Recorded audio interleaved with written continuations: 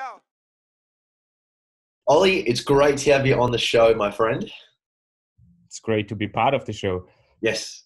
That's awesome, man. Well, I think you and I were doing some really brilliant work together, and I think your story um, is a really powerful one, and I think it's something that um, it would be really valuable for other people to hear, especially with kind of you know the entrepreneurial pursuits that you're uh, you know that you already have and are can, and are you know keen to continue to undertake. Um, but um, I suppose, mate, do you want to give people a bit of a background of who you are, what, when, where, why, and um, we'll go from there. All right. So obviously, I'm Oliver. I I was born and grew up in Austria. Uh, my parents are initially from Hungary, so I grew up with two languages, Hungarian and um, German. Um, then, like obviously, finished high school and everything. I was in a dark space for a while, and then a, uh, an opportunity came up um, coming to Australia to do university here which I pretty much took straight away. Then I came to Adelaide, finished university within four years, got a job offer on the Gold Coast, moved there, lived there for a couple of years, and then actually moved to Melbourne for another two years until I actually got into another dark spot, which probably was the hardest so far. So, um, lost my dad in September 2015 due to cancer. Um, a month later, my mom was diagnosed with cancer. Lost her in June 2016, so there was only like nine months um, within them, mm-hmm. uh, within their like within their deaths. Um, pretty much um, left Australia just in May 2016, just one month before my mom passed away. So I was actually there for the, I was actually there at the moment she passed away. So wow. I was there, thankfully, for the last month. Missed out um, doing that with my dad because everything just went way too fast. Yeah. But I was lucky enough to be in Europe like a month prior of his um, death because um, it was my brother's 40th birthday.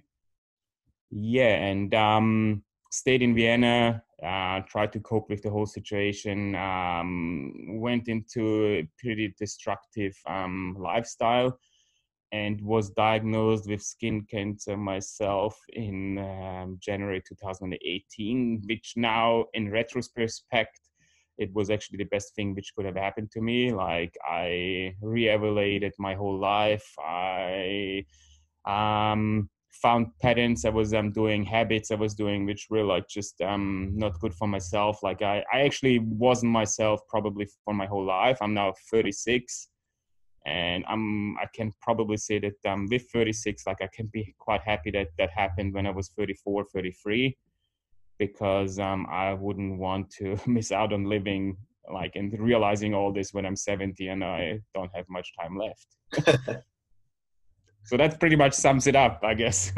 Dude it, it is insane. Like that that that that double whammy of, of losing both uh, you know parents within nine months is is is just unbelievable. And I, I, think like a lot of that stuff around trauma experience and you know moving into a destructive path is so easily validated especially from the outside world looking in. You know when you're in that destructive place it's kind of like oh shit you know i'm such a bad person i'm, I'm always fucking everything up i'm never going to get anything right but on the outside it's like well of course you're going to find yourself in that space. Your world has been rocked upside down. You know, the carpet's been pulled from underneath, underneath your feet. Having that time to grieve and, um, you know, relying on others and just doing what you need to do to literally survive is, um, is something that I think everyone goes through and something that people need to recognize more as an inevitable reaction to something that's really painful. Yes, I mean, I can only acknowledge that because, like, that's, I mean, I learned more about like grieving, losing someone, and like, I went through different phases, and like, um, um, I guess that's what like made me realize as well how how precious life is and how precious actually living to your purpose or living to your passions is instead of like just following certain habits or things like um, people put in your head that that's better for you or this is what you should study this is what you should do instead of going inside of yourself and like asking the questions like what do i actually want to do? What is what makes me work? What is what makes me happy? etc etc How did you pull yourself out from that destructive position into starting to look at your life and being like, okay, I actually need to move on now. And part of the grieving process is in acceptance of this situation now. Well, as you pretty much said in the last sentence now, like um, it was more of accepting that my parents are gone. But saying that, like, I mean, your parents, like, everything you have with people you lose, I guess, like, it's never gone because they keep living in your memories as well. And if you can um, use that as as your strength that they're not really gone. Like i mean there's all these positives which they actually made for me or they helped me with for like growing up and, and seeing them do and like appreciating things in the aftermath of uh, more or less. My mom was always big in like like just a small example on like us going to like listening to classical music or going to an exhibition and um, see a picasso or monet exhibition Mm. Like as a kid, as, as a kid, you don't appreciate that. But then like suddenly, like when I was living in Melbourne, I there was this exhibition of Salvador Dali, and I went there, and then I just realized what my mom actually did with like all what she was doing like growing up and that's like still in my in me and that's mm. like thanks to her so i had to i guess first i didn't want it to accept the situation because you ask yourself questions why me why did both have to go why is it all happening at once like um, questioning yourself as well like um, how i how you should keep living what's what's home to you i was living in australia like my roots were in austria but suddenly because you you lose your parents like you pretty much the first feeling which comes to your head is like i lost my roots because yeah. that's what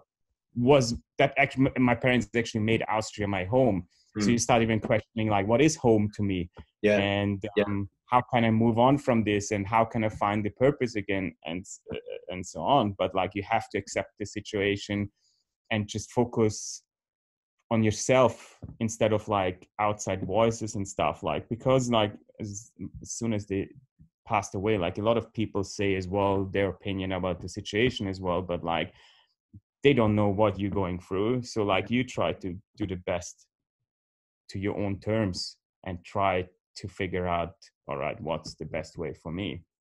Yes exactly right dude. And uh, i think you said something really powerful there. You said you know my sense of home was taken from me. I was wondering if you could kind of um, touch on that you know because you and i have discussed that um, to great yeah. depth but it's it's brilliant. And um, how did you start to construct a new home I actually I I I mean I guess your work really helped with it as well because I what you did with me for example writing down like how my day looks like oh, yeah. and what my what what my perfect day could look like um, helped me as well like finding home for myself because I felt like it's not actually home where you are it's home when you find purpose in yeah. working towards certain goals which you're passionate about and that's the reason i guess passions itself like whether you have them as as a kid like that's that's why it was important as well going back to the roots of like all right back when i was living at home with my parents when you all when you have that security of everything it's not the i guess it's never the place where what you call home that it's the yeah. place it's whether austria australia hungary whatever whatever country it is it is actually always within you and the people around you because my parents were the ones who made home to me so you can be the person as well who can choose and make the your own home within yourself as long as you like follow your your passions you have in your life. Mm. it doesn't need to be a certain place i think because a certain place is just like it's just a place at the end of the day. But the people who surround you in that place they make what home is actually. So that's what i realized. Mm, yeah dude and i love the way you say austria mate. Austria exactly. I'll be back. yeah, yeah. Oh, very good. Very good, pal. I've never asked you to say that. I can't believe I've never asked you to say I'll be back. oh, that's awesome. I think you could become a become an actor, mate. I think I think there's a line there for you.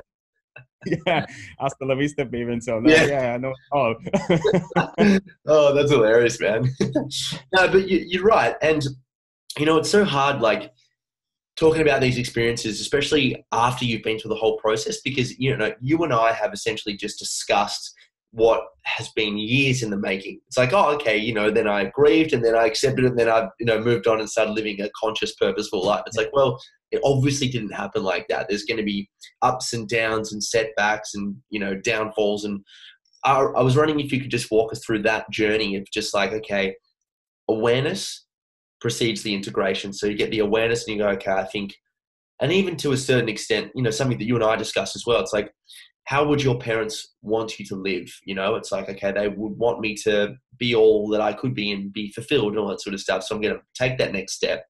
And then you're motivated for like three days. And then the day four, you're like, ah, oh, fuck this. I'm just going to order some chicken and just stay inside. Like, walk us through that journey, dude. Well, I mean, it, it's more or less a love as well. Like my parents always like um try to teach us to be on our own two feet and like do whatever we are passionate about. But yep. at the same time, they had certain expectations in us, and I think that's like in like everyone has with their parents in a certain way. So like yep. it's whether you listen to them or whether you don't listen to them. And um, I mean, like as we discussed as well. So once I lost them, like I, I guess I was um I was really looking for love somehow because the love your parents give you is suddenly gone. And that's they're like at the end of the day, like it doesn't matter like how old you are, your mm. parents are always a certain rock in your life, especially coming back to Austria, like um, when I was living in Australia, like your mom, the first thing she's asking you, oh, what should I cook to, what should I cook? What should I prepare? What can I do for you? And then you just, she makes you feel home straight away when you get here suddenly all that stuff was gone. So yeah. um, I was obviously there for the death of my parents, and like the scary part was like when I was in hospital and my mom passed away. Like obviously I started crying and everything, but I stopped myself crying. And the first thought I had was like, what do other people think of me now, seeing me in the hospital crying?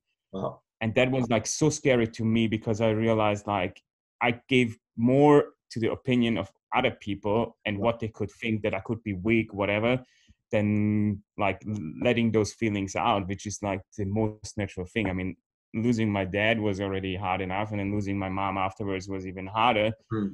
And obviously, I tried to run away from the problem. I had my siblings in Austria and everything, but then like um, drugs become more interesting because um, that's where you find like for a certain amount of time like a bit of like like i don't know like your serotonin is going higher and you like feel happy for the moment but then the day after you feel even worse than you did before. Yeah. And you you realize in the process as well that it's not good for you but you can't do anything against it because it starts to become a habit to run away from the problem. And that was the dark side. And like in my case like that's the reason i'm saying like skin cancer was like the best thing which happened to me is because that's what pulled me actually out of the hole and i said like nah and i need to start thinking about what do i want from my life instead of keep living as a victim and not taking my my life in my own hands because that's what I all that's all I did. I was just living as a victim, wow. um, and I, I, I blamed everything. Yeah, yeah, no, uh, uh, just made me think of something when you started saying drugs became more interesting and all that sort of stuff, and you're looking for that high you know, especially with what we're talking about with, you know, your sense of home changes. Taking a drug is like your mum cooking you a schnitzel. You know, it's got the same like tone to it. It's like that warm oxytocin feeling, you know, you, you're building up through the dopaminergic system. You're feeling that warmth and connection. Um, yeah. And especially when you're in a place of grieving, it's kind of like, anything that remotely resembles that feeling is going to be instantaneously more attractive. Exactly, and uh, I mean that that went for pretty much two years after the death of my parents. So that was actually a long time. So it was not a short time. Uh, thankfully, it was never like really like um, that bad that it like I took drugs which I would have regretted to take, but it was always like it was always there and the opportunity was always there as well. And once you have the opportunity, yeah. you just take it because like, ah, do I want to deal with my problem? You you, pro- you ask yourself for a second, and then it's like, ah, nah, fuck it. Like yeah. I'm just smoking some weed or whatever, like it is. Yes. It's like, and you numb yourself actually for the whole period of like that time. Like I did numb myself instead of like letting my emotions out and like whether I feel like screaming and like or I don't know anything else as well. Like, I mean, just let things out and like, I didn't even allow myself to cry, as I said, like, not mm. after my mm. mom passed away in that moment, like, through the months after, I didn't let myself cry either because I wanted to be strong either for my little siblings or I didn't want it to show it like I want I wanted to show the society more or less that like I'm I'm working like I'm still like you're still working and you're not like a mess which yeah. you are at the end of the day well, you're you're just a human. Like even yeah. this, this is like really good, important language here um, that I'm constantly trying to you know mediate as well. At what point do we say I'm a mess? Moreover, I'm just human. Like who the, who wouldn't be like that if they'd lost their parents within nine months? Like it's it's just you you actually have to be robotic, you know, to not you know to not cry or to not you know, it's when we pathologize the aspects of the self that we're trying to suppress. That's I I believe when the issue really manifests itself when we say, "Oh, I shouldn't cry." It's like, well, yeah, there's a part in me that really needs to cry right now. You know, I need to let that out. Even what you said before, yell, scream. There's a part in me right now that really needs to yell and scream. Where's the closest pillow? You know, yeah, exactly. Yeah. Um, just doing anything like that. But what was the what was the you said skin cancer was the best thing that ever happened to you? Was that kind of when you found out um, you had skin cancer? Was that the day one of making the positive change? It, it it it was more or less. I mean, first of all, it was then like the cherry on top of the cake, where I felt like, ah, fuck this as well, and like now yes. me, and like, why did I deserve that? And then like what i realized i guess is like that um, your body sends you signs like so like with keeping emotions in keeping vulnerabilities in and not talk openly about what's going on in your life that you are human and that you have those emotions yep. especially losing your parents if you don't let them out your body it's it's like you're still like a bottle like you you, you it's just like building up inside of you and like your body just tries to get rid of it in some kind of way and i've i i built i i I thought that skin cancer was alright. Like now I have to ch- like I have another choice. Like, do I keep living the way how I am living, or do I make a change and try to make things a bit better? And then like it was not from day one, but then pretty much after that, like shortly after that, because it was two two initial um, things with skin cancer. First, I had it on my forehead, um, and then they found the melanoma on my stomach. Wow. And the second, the second part when they found the melanoma, that was actually the one where like I said, like, nah, that's enough. Like now I stopped pretty much like literally like um any kind of drugs at that stage and thought like now I need to like start to um live a healthier life and live more true truthfully to myself. Mm. Yeah. Started meditating that helped me heaps for example. Yeah, yeah. And it, it's a slow, slow burn. Hey, like it's it's just day one. You know, I, I smoke fifty cigarettes a day. Day two, I smoke forty nine. You know. Yeah. It's like you didn't you didn't become like an enlightened Buddhist meditating monk after day one. You know. Uh, not at all. Like it was always this two like it's like you have like two sides of yourself like there's like there's like like dr jekyll and mr hyde more or less like you still yeah. have like you still have the old self of yourself inside of you which is like always trying to pull you back like because that was your habit for such a long time as well like i mean it was almost for two years all the habits which built up mm. and then you have like that new side which is actually want to break out but you don't know the direction you don't know in what direction you should move so it's like a kind of unknown as well. So of course you want to go back to your like so-called comfort zone. I mean that was my comfort zone. So getting out of it is like the hardest bit. So like um so i tried to start like reading up watching videos as well of like people who inspired me and then like implement certain habits and try to make it to my own habits like taking a cold shower in the morning every morning. Like like those little things which like made a massive imp- and like they had a massive impact in the long run then like not mm-hmm. at the mm-hmm. beginning because like every time you take a cold shower you think like fuck i just don't want to get in there yeah but then you get used to it yeah exactly yeah just dr jack or mr hyde you made me think like you've got dr schwarzenegger and mr schnitzel yeah exactly and mr schnitzel is who you want to be but Dr. schwarzenegger is holding you back, mate. yeah, exactly. yeah, yeah, no, for sure. And but it, like it becomes that point when you hit that absolute low. We'll call him Dr. Schwarzenegger, but he's just he's he's he's pushed you so far down that when you have hit rock bottom, it's like you can't push me any further now. I'm gonna run and have a look at what Mr. Schnitzel's talking about, you know. Um, yeah. And it's like now you have that chip on your shoulder, you have that guiding light because you've seen the darkness and the depth, and now it's like, well, I wonder how bright and and and and and fulfilling you know my life could be if I started to uh, do some things. And I think when you and I were doing a lot of the work around the cognitive schema, so you know structuring a point A, structuring a, a point B, it it just makes it a whole lot clearer um, based upon. It's like I know I should do this stuff, but it's like why? Well, with the point B, this is who you could be and this is what you could be doing if you do that sort of stuff. So it just it gives you a more tangible uh, guiding star you know? Yeah. It's good. And it takes a long time. Well it does because like obviously there's certain things in you which are like manifested themselves for such a long time as well and you start believing them yourself even though like most of the time those things are not even true. But i guess that's when like those things like fear like discomfort they come in there and like because of fear we don't step out of like certain comfort zones because like we're just scared of what other people might think of us like coming back to that point or um, of rejection or of like other certain things like we are so scared of like um, outside factors uh, and that actually is pretty sad in my opinion. Absolutely man. And so when did when did CrossFit? Because you and I met at a CrossFit gym. We met at CrossFit Richmond in Melbourne.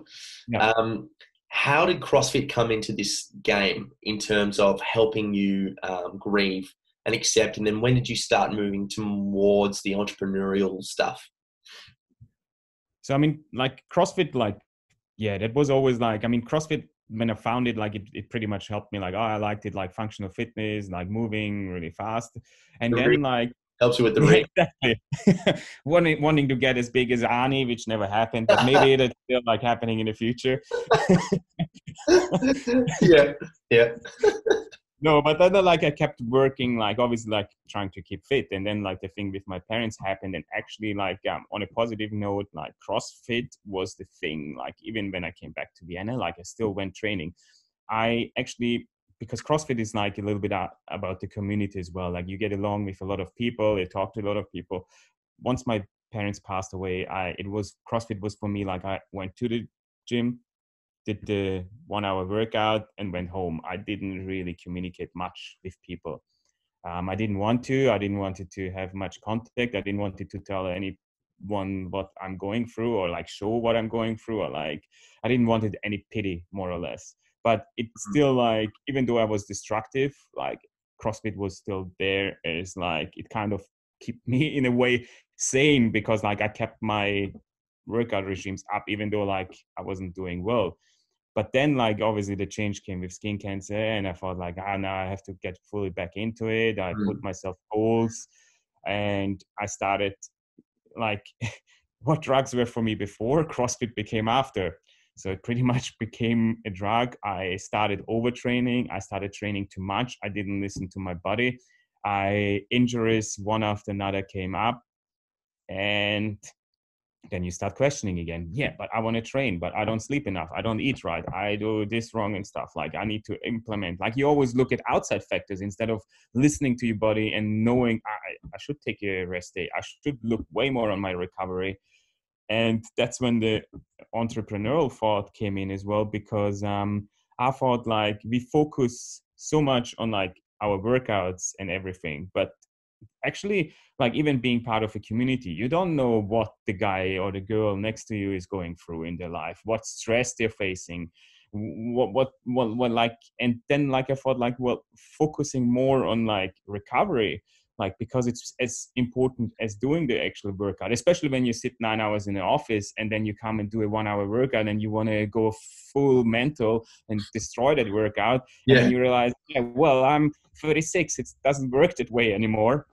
but um, that's the reason when recovery comes in. That's where, Yes. where nutrition, like um, certain things um, you do to to to to help yourself to recover better, so you're able to smash some workouts. Hmm. And that's what I had to learn. And if I wouldn't have had the injuries, I wouldn't have come up with this stuff because, like, it just showed me, like, it's a, it's the other thing again. Your body sends you signs when it's something is too much, when you overtrain, and like it starts with like a small aching in your like whatever wrist in your elbows tendonitis best example so many crossfitters have it and then it creeps up on you suddenly like well the pain is getting bigger and like your recovery obviously takes longer but you always want to know i need to go back to the gym because i, I want to get that pb in like my back squat or whatever it is Yes, yes, absolutely.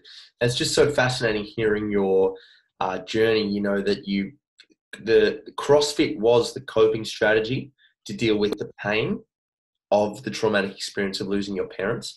But then what you needed to do was you needed to come up with a business, and you you did so, uh, you know, just through your own will to deal with the coping strategy. You know, and this is something that we discussed together.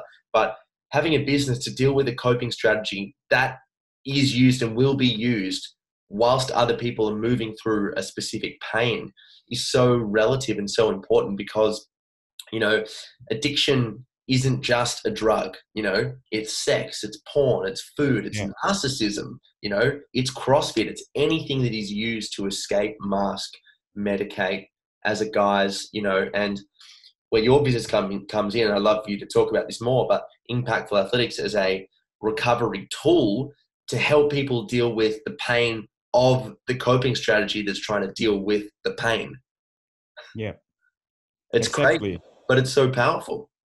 I mean, and that's like um, I mean, like I I started Impactful Athletics with a really good friend of mine, Louis, and like uh, we had the sa- we had the same ideas, and because he was training with me and he went through similar things in like in recovery work, like we just understood the the problems which there are, and like getting bringing it closer to people so they so they are able to recover and still face life to the fullest and like whatever reasons there are why they why they're training because they want to be playing more with their kids or they want to be going hiking and um, do things they love doing or they do it because they want to be like stronger musclier.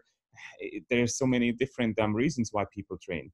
But um like there there comes where whatever you go through in your life like recovery sports is it's important but you shouldn't use it as your mechanism of like running away from the problem because the problem is still there. Like so for some reasons like i i just like another example as well like whether whether something is going wrong in your life first things like when my mom passed away like the first thing which popped up in my head just was like ah shit i, I will go back to australia straight away.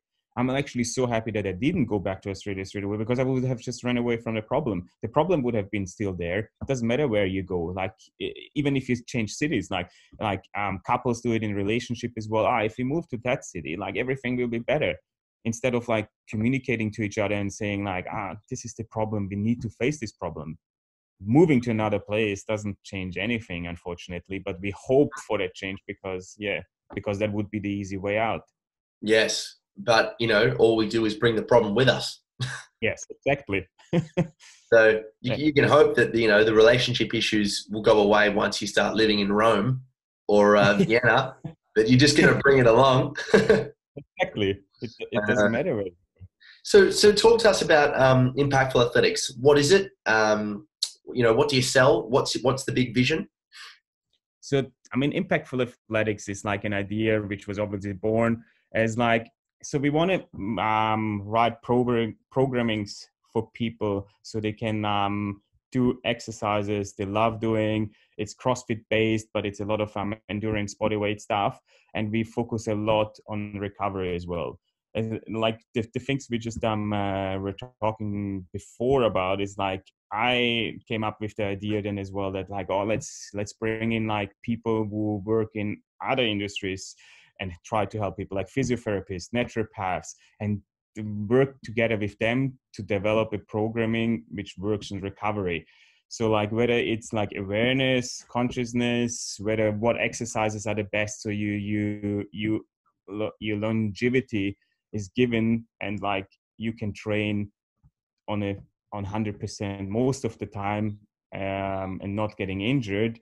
And then like it's like i mean like as the name say we want to we want to generate through that an impact. So like it, it doesn't take much effort to generate impact.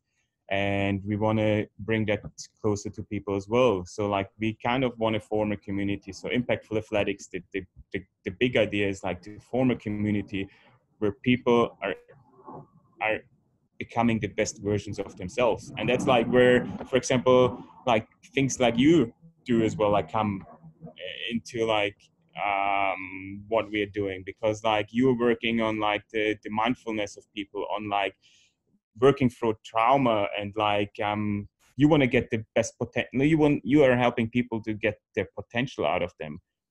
And yep. that's i guess that's the the big idea like we all live um a life and wearing so many masks in so many different situations where we're not even aware anymore that we're wearing a mask because um we, it's just became a habit to us like to behave in certain situations like that.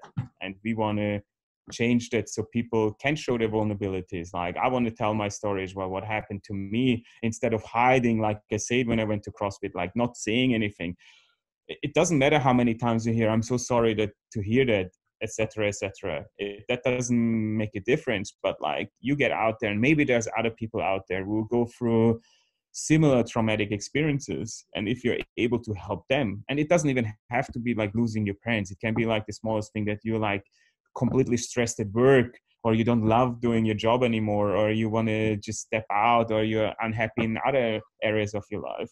So yeah absolutely man. It's how can you use your story for good? You know how can you harness the power of it? Because what we don't want to do and i said this before but we don't want to pathologize the the the, the self and divide it. You know that's what trauma does. It leaves an aspect of the self behind in the past because it can't integrate what happened, you know, whether it's because of the shame or the fear or the pain or the anger. But when we talk about um, integrating and, as you say, um, fulfilling potential and all that sort of stuff, we want to try to bring everything along with us for the journey and recognize that those experiences, those experiences made us who we are today. We wouldn't be who we are without those experiences, warts and all. And it's so important for us to look back on the past with a sense of gratitude because without it, we'll stay there. Yeah. And I think that's, that's what believe, Yeah, sorry. I was just I was just going to say, but I think that's what you're doing, especially with your entrepreneurial pursuit. You know, you've you've started a business that's conscious, that's directed towards people that are probably at day one of where you were. You solved the problem, and now you want to help other people shortcut that strategy so they don't have to deal with as much pain as you went through. Exactly, because I believe as well that like every obstacle is an opportunity. So there is a yeah. lot of obstacles, and like unfortunately, like losing your parents or losing a loved one in general, that's an obstacle as well. Like, but it's it's it's up to us, like what choice we make. Do we live as a victim, or do we step out and still try to make the best out of life? I mean, like if I would have lived as a as a victim, like being 34 and always lived as a victim like until the end of my life i would have wasted probably 40 years if not more of my life yeah. and that's like that have been pretty sad. So like that's the reason it's so that, that that that's an opportunity. And i was able to go back and like oh look that's like that's my passions. Like i always wanted to work with people but um, i did it in a different field and that's the reason i changed. I went back to uni as well and i'm studying just to get more information of like how i can improve people's life. Mm. and it became so powerful to me so there's another opportunity for me yeah and you're improving yourself as you go mate um yeah this has been brilliant we we always uh, said that we do a podcast together, and I think now that we have, I think it's been really good. And the vulnerability just, um, you know, spills through the microphone, so it's really good, man. And I've loved working with you as well. Just by the way, it's been brilliant to work with a friend um, and uh, a mentor, in many ways too. You know, just you know, you talking to me about your story has really helped. Um, you know, professionally and personally as well, man. So it's been great. Um, where can people find you? And um, maybe you can plug Impactful Athletics as well, because I think it's really important, especially in this day and age. So obviously, like I, I'm on Facebook and um, uh, Instagram. Mr. As, uh, exactly. Maybe I should put that on my Instagram post from now onwards. Just in like the explanation. That's Oliver Bognar, Mr. Schnitzel. Previously wanted Mr. Schwarzenegger. yes, exactly. Exactly. God, that's hilarious.